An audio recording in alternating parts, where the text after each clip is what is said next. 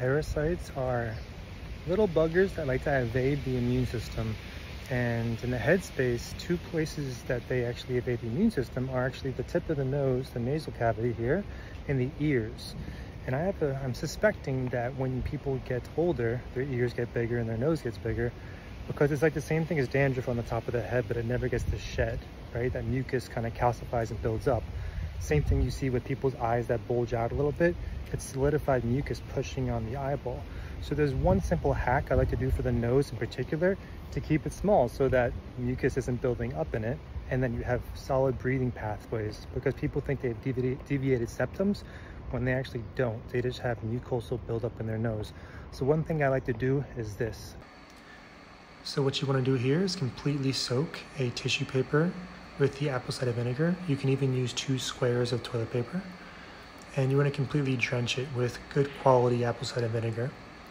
And then you want to completely hit every surface area of the inside of your nose.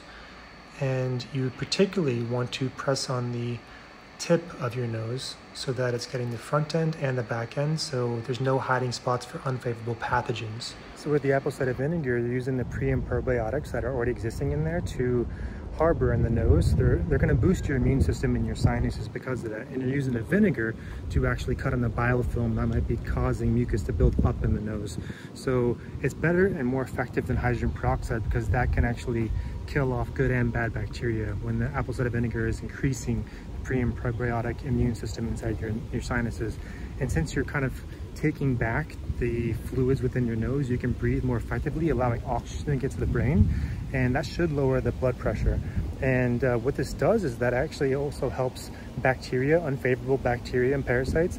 It breaks their cycle. So they might come back to the sinuses because they see it as a way to evade the immune system, but they no longer go back there because they know that they're constantly being discarded from your apple cider vinegar application to make this protocol effective, you wanna have consistent days that you're doing it. So like seven days straight. And to be even more strong and effective, do it in the morning and the night before you sleep.